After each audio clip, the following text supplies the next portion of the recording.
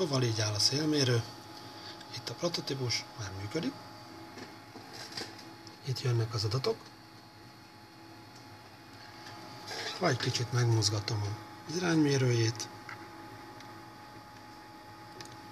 meg egy kicsit megmelegítem a hőmérőjét, meg óvatosan megforgatom a szélmérőjét, akkor látszik, hogy az adatok némiképp megváltoztak.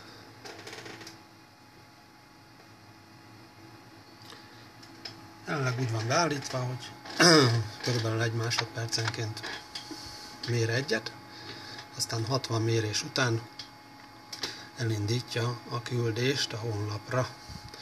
Mindjárt el is érünk odáig. Akkor mutatom. Igen. Tehát most megállt a mintavételezés.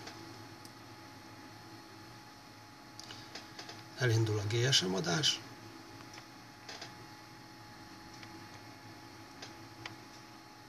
Csatlakozik a mobilnetre.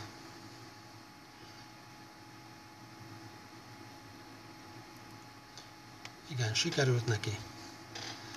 Akkor mindjárt el is indítja az adatokat a honlapra. Így van. El is indult. Megvárja róla a visszajelzést. És újraindítja a méréseket. Itt pedig a honlapról egy kattintással megnézhető, hogy miket miért.